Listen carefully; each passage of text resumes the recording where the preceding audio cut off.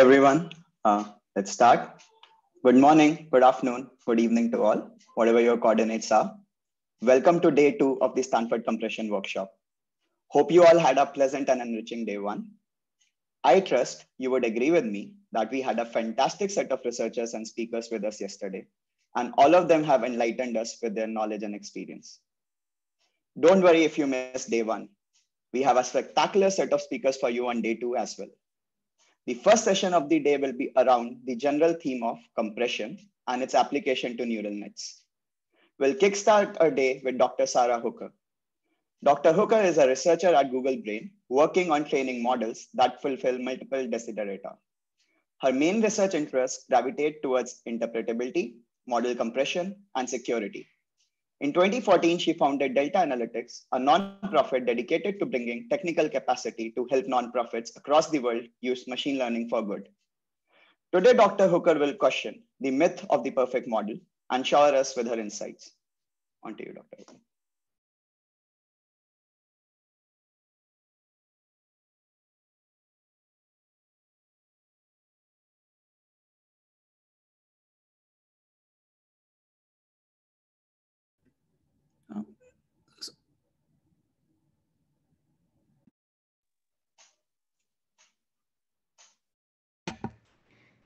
Can you hear me now? Yeah. Excellent. Yes. Okay, good. Uh, so we have full functionality. I was just saying, uh, thank you for the kind introduction. It's lovely to be here. Uh, in fact, uh, I'm not, in fact, a doctor, but it's lovely to be given that illustrious title. I've taken a more rogue career path, um, but today I will be talking about some of my research and. I, I think um, in many ways, what's fun about this talk is that it touches upon many of the areas I do research in. A lot of my research is focused on how do we train models beyond test set accuracy to fulfill multiple criteria? And what I'll talk about today is really the intersection of these criteria. When we optimize for one, do we uh, induce trade-offs with others? Um, I have a few ideas I wanted to put together. And as I was putting together the slides yesterday, um, I'm not quite sure we'll get to all of them, but that's kind of the fun part of talks like this. So uh, broadly, what I'd like to cover is firstly, this intriguing relationship between capacity and generalization. But then secondly, this myth that uh, is perpetuated to a large degree in literature today that we're optimizing for these properties in isolation. Um, and then I'd like to conclude in a kind of open frontiers note, which is by articulating some of these trade-offs, there's very promising work on achieving better trade-offs. Um, and I'll of course be mentioning research done with my colleagues at Google Brain. Um, so let's get started. So really, my interest in compression started from uh, three charts. uh, but firstly, it's important to characterize the landscape that this has taken place on, which is that we have um, a bigger is better mentality uh, currently in the number of model parameters. Um, and uh, this is because throwing parameters at a problem has proved to be annoyingly effective at gaining uh, more performance.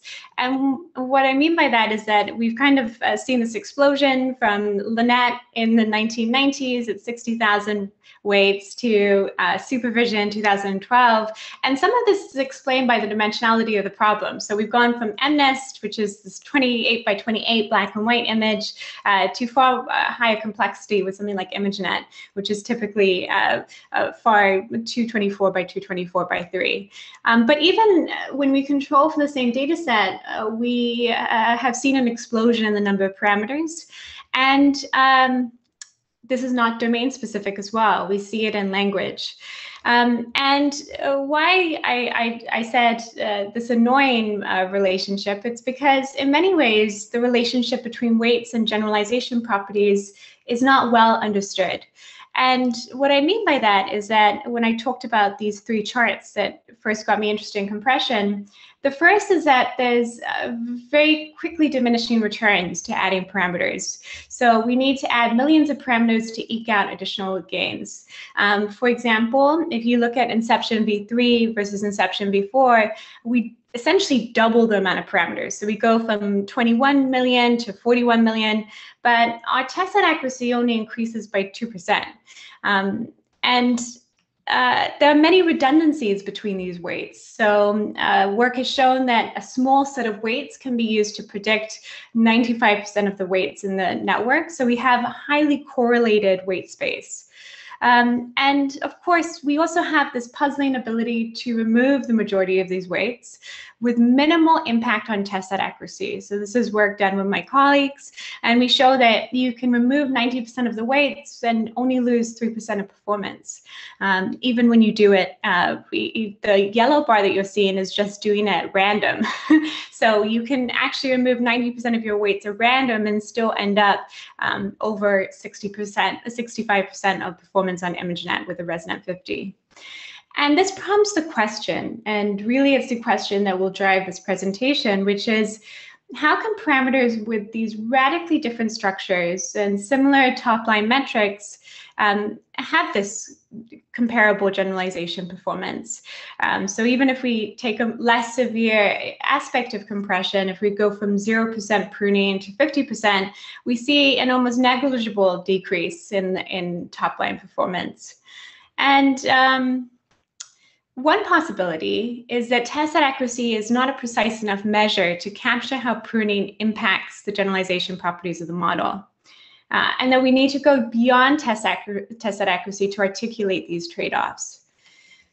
And why is this interesting? So, why do we care about this? Uh, there are theoretical reasons why we care. So, can we do better? Uh, this appears to be a very inefficient representation. So, the need for so many extra parameters suggests that uh, perhaps by understanding more how these parameters are being used, we can arrive at a more efficient treatment.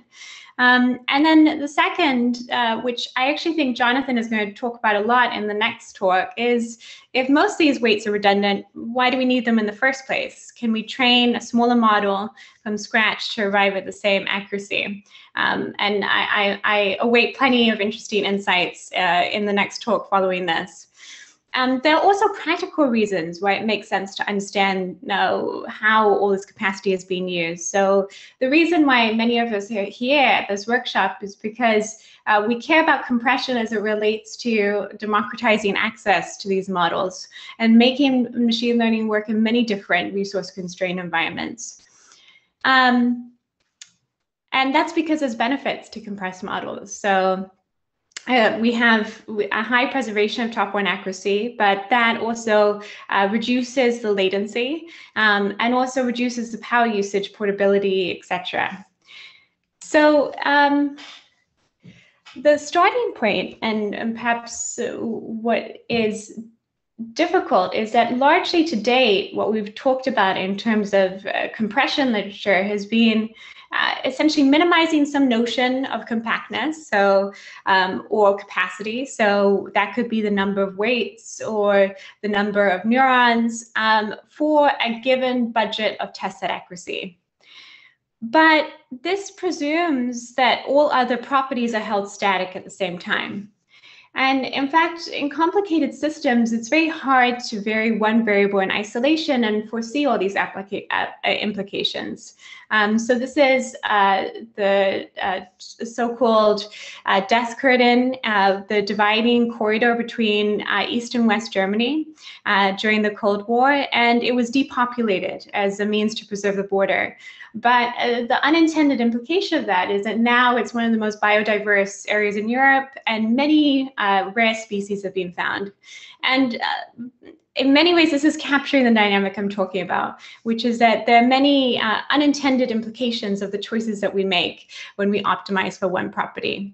And we often want models to fulfill multiple properties. So um, we'll talk today about model compression, robustness, and uh, uh, uh both robustness in the sense of distribution shift that's more natural in the real world, as well as uh, algorithmic bias. Um, And uh, one thing is that we'll get at is that this optimizing for one property like compactness will entail trade-offs with others. So what do we ask? We ask, firstly, how does model behavior diverge as we vary the level of compression? Um, so uh, robustness is one, but also if we go beyond our top line metric and we ask at a class and an exemplar level, uh, what do we see? Um, and our experimental framework is to train populations of models at this different level of, of sparsity. So we have models that have no sparsity introduced all the way to um, the, the, levels of sparsity that you would see in real world applications. So 80 plus in order to gain those benefits from um, the, uh, in terms of latency. Um, and when I say sparsity of 90%, what I mean is that we've removed by the end of training uh, 90% of the weights. The model only has 10% of all weights that are active and contributing to the end uh, prediction there's some nice properties to this empirical setup. So one is that uh, we've controlled, because we're comparing models that are in a similar regime of performance, uh, we are asking, given similar regime, uh, how, how, do, how the generalization properties differ. And that's important because we don't want to compare a model which is just bad at modeling the function, the, the data representation overall and try and compare it to a model which is much better. So we're comparing within a similar band, but also we can precisely vary how radically the weight representation differs by controlling the end sparsity. So we almost have this nice lever to understand how generalization properties differ as you exacerbate sparsity.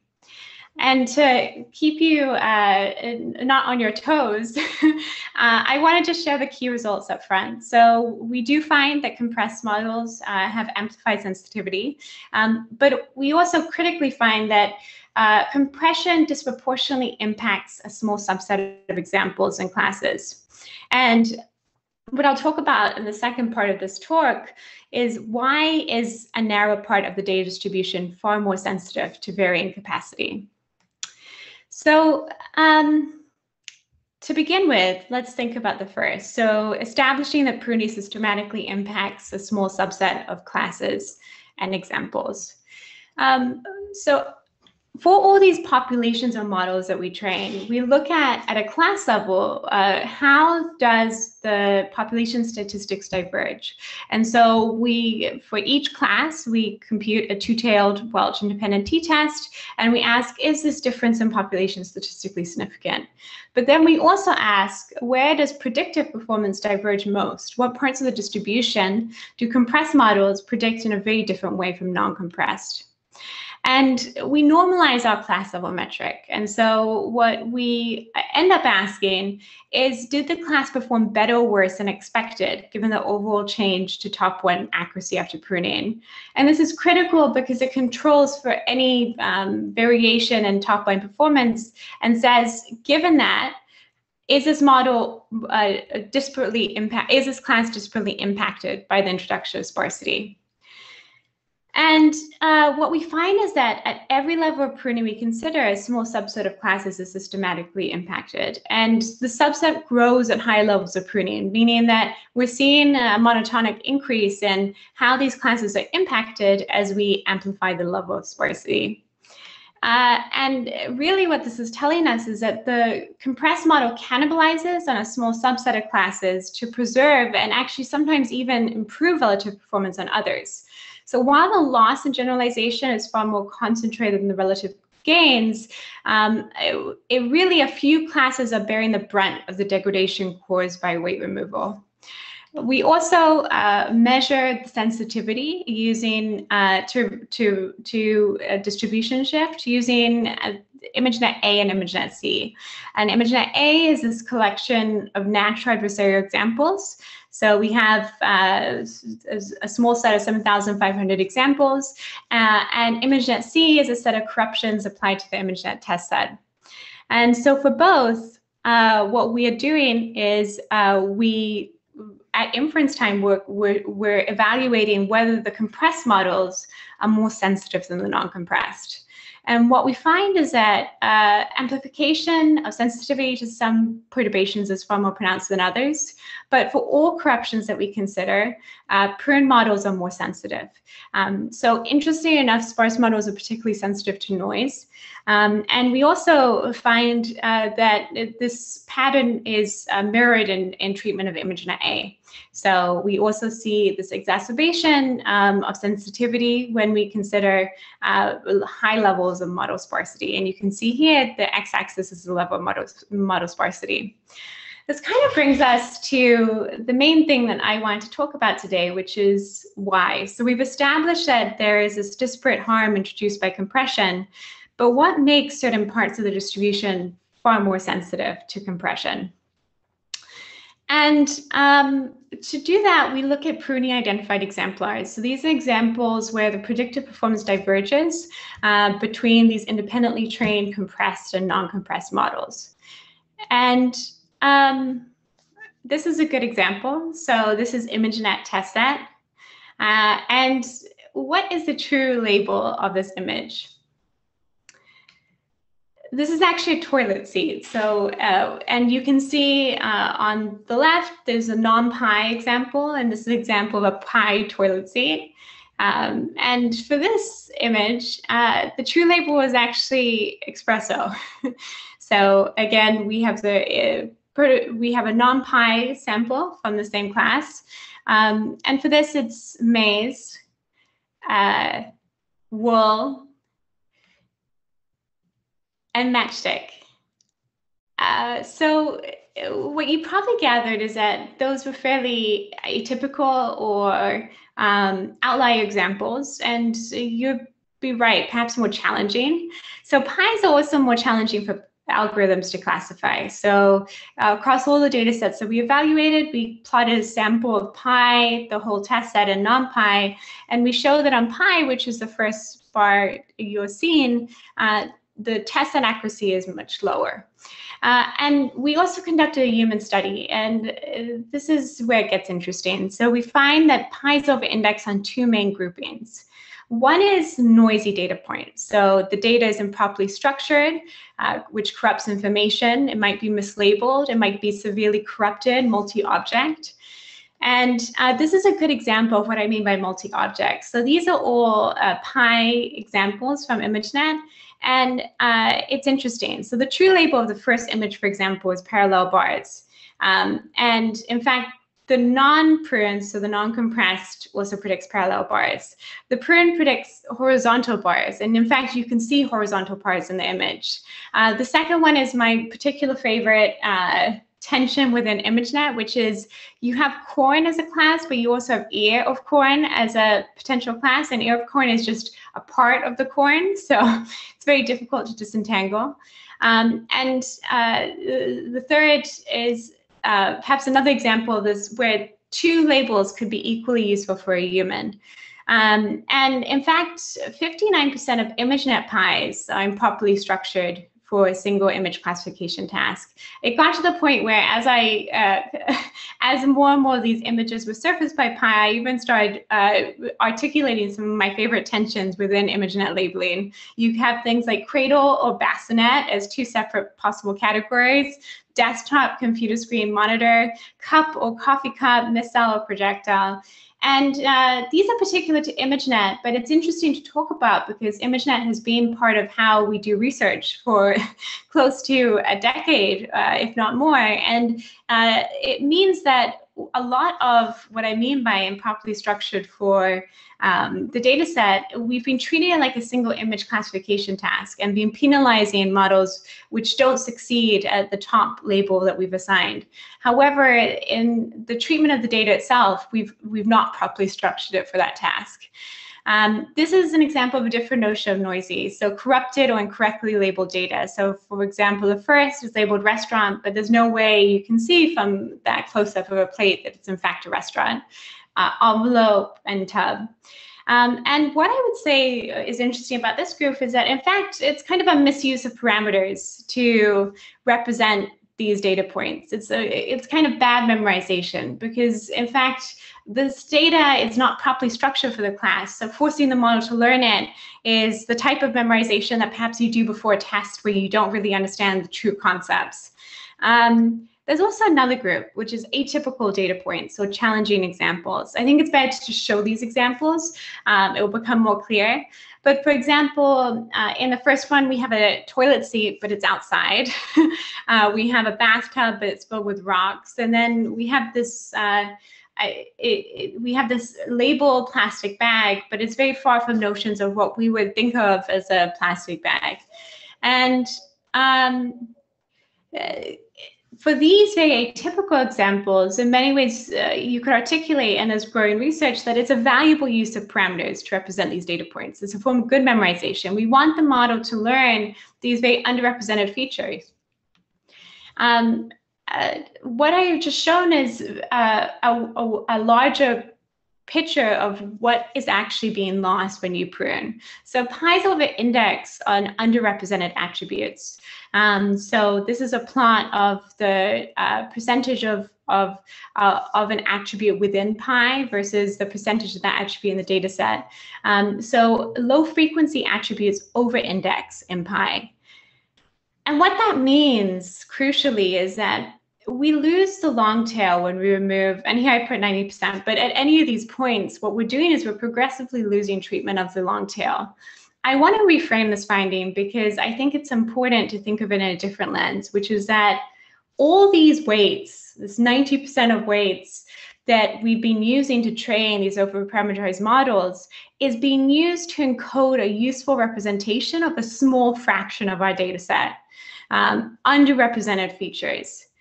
And uh, that provides insight and framing for what has become a very popular recipe in our community, which is adding extra parameters to a problem. Uh, and it raises the question of if most of these parameters are being used to encode a useful representation of, a, of the long tail, is this a problem solved more cheaply elsewhere? Uh, and uh, in fact, several of our assumptions about deep neural networks are primitive. I could do another grumpy talk about that. but for now, I, I, will say that the one that is interesting is that we treat all these examples the same. Despite differences uh, that has been illustrated in our work in the capacity cost of learning a representation for each.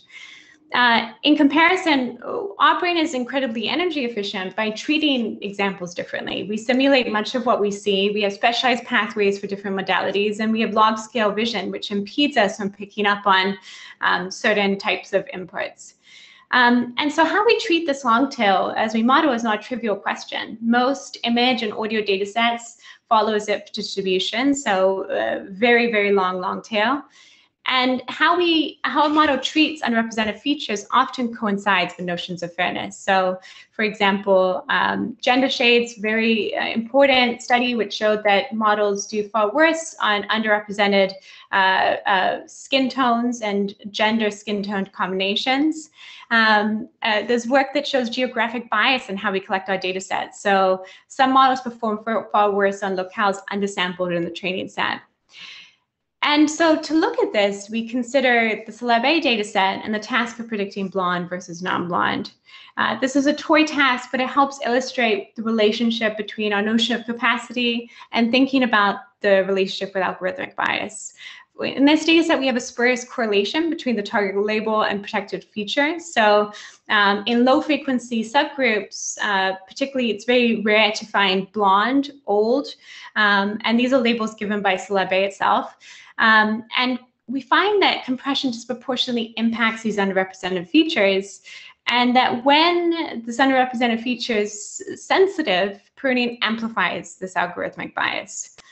Um, and this leads to how do we achieve a better trade-off? Um, So one role that was important in motivating this work is that it's actually very difficult in most uh, cases where we want to audit potential uh, uh, disparate harm uh, to do so unless we have comprehensive labels. And that's rarely the case. Uh, and so in the absence, and it's really the case for a few reasons. We have high dimensional label uh, data sets. Labeling is very expensive. It's hard to label all the proxy variables that are uh, that are correlated. And then there's also additional legal obstacles, additional sensitivity. Um, and uh, PIE is a useful protocol for auditing what is the impact and for surfacing the examples that require additional um, auditing. Um, so at test time, it's unsupervised and it's based upon a divergence in predictive behavior. But there's a broader theme, which is by articulating the trade-off, we also pave the way to achieve a better trade-off between compression and disparate impact. In many ways, this is an very unsaturated direction, undersaturated, because to date we've only optimized for one aspect. But identifying and articulating what those trade-offs are allow us to optimize it for explicitly. Uh, so this is uh, work uh, from the University of Utah, and it's looking at if we constrain uh, explicitly the, the optimization function, how does that impact the level of PIEs? And uh, can we achieve uh, better uh, better notions of distribution of this harm and they achieve very interesting results and I, I think that this is one thing which is a community uh, understanding that there's more than one aspect that we're optimizing for paves a, a very exciting research path for uh, our problem and our task achieving the better trade-off that we want. Um, I want to stop because I definitely want to leave uh, a few minutes for questions. Uh, and um, in I actually, uh, perhaps I'll do that first. Let me open up for Q&A. I know there's a Q&A box, and I can add more things if there's time, but uh, it looks like we already have two questions. Um, so maybe I'll, I'll tackle those and then we can go from there. So Raheem says, what happens to prune models in terms of loss landscape that is not able to classify PIEs? Um, I think that's a really interesting question. I don't know. Um, so, uh, so I guess there's a few ways of looking at this. So we do know in terms of our sub our our, uh, our sub metrics, so our class level and image level performance. But there's an interesting idea as well of understanding what's happening in terms of characterizing the decision boundary. In general, characterizing the decision boundary in um, high dimensional landscapes is an open research question itself. Uh, my hypothesis is that as we prune and as we sparsify, we are losing what requires memorization. So uh, in many ways, we're, we're arriving at um, decision boundaries where anything that the model was uncertain about already um, that I had to memorize in order to learn a useful mapping is being lost. Um, how that's articulated, I feel like that's a really exciting research direction. Uh, so now we have three more. Excellent. Please keep them coming. Uh, so uh, Tiago says, do you think that it'll be practical to find an exact encoding of a trained neural network which requires fewer parameters? In other words, do you think something like lossless or exact compression can address such disparities amongst uh, different classes? So I'm not. I'm going to uh, try and guess at what this question means. I think what Tiago is saying: Will we ever be at the optimal? Will we ever not avoid these trade-offs? Um, and I don't think so. I mean, we have a parametric model, which is essentially a frequency counter. Um, and uh, in many ways, we have to constrain the function to optimize for what our desirable properties are uh, given our task. And so there may be tasks where you may not have sensitive attributes or you may not have privacy considerations. And then you can emphasize something like your trade-off between the amount of compression achieved for test set accuracy in a much more straightforward way. But in sensitive domains, you may place more emphasis on uh, avoiding disparate harm. And so inevitably, it's almost like any other uh, any other optimization process where you have a fixed budget and multiple criteria. How you distribute it between multiple criteria will depend upon the emphasis for that particular task. Um, and so Tiago rounds it off by saying there's no free lunch after all. Yes, indeed. I, that is the key takeaway of our work is that we can't treat these in isolation. We have to acknowledge that there's a, a, trade-off. Um, so we have, uh, let me see. uh, so I have a question from Manny. Instead of training usually over parameterized models, uh, then pruning, isn't it preferable to train a small model and identify difficult data and cluster them into two branches? I completely, I think this is a very interesting direction. So there's a few, uh, in general, I, I think uh, a theme that I've tried to emphasize is that we're using a very crude tool right now to deal with uh, data which is underrepresented. We're throwing parameters at the problem. And in general, I find it very promising research directions which are uh, thinking about how to treat the data itself differently or get early signals about what data the model is uncertain about to then intervene um, and use capacity in a more sensible way. So one is what Manny is talking about, which is this research direction, uh, thinking about cascading models as a variation of this. So if you have data which is um, uncertain in the first model, you pass it on to a second. So yes, I, I, I, think this is a very interesting research direction. And I'll take one more because Jonathan, I, knowing, having attended his talks before, he, I'm sure he's got something fantastic and I, I don't want to intrude on his time, but uh, there's here's one from uh, Rajashi. Are you aware of any good principal theoretical approach to understand generalization performance with compression, maybe from a statistical perspective? So our work was really the first to date to, to articulate these trade-offs uh, in thinking be beyond just test set accuracy. And in fact, it spurred a lot of interesting conversations. And in particular, one aspect that is underexplored here, which I hope to see more work on, is the relationship explicitly with memorization. So uh, how does this relate to the, the work that has been done to date on good and bad memorization? So I'll leave it there, but thank you so much. This has been, uh, thank you for all the questions. Thank you, Sara, for a great talk and answering all the questions we got on the chat. Uh, for everyone's knowledge, we also have a Slack for offline discussion, and we have a channel called Neural Net Model Compression. So please free, feel free to take it uh, away from there. Um,